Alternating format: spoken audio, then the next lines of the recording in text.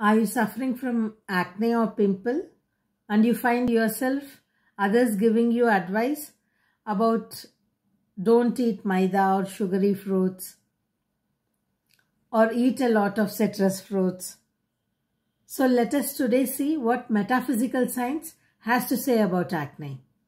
Suffering from acne is a sign that something inside the patient is being suppressed out of fear, out of guilt, out of shame. And this is trying to break through and become visible. Actually, it is a sign of unconscious resistance to close contact with others. How to overcome this?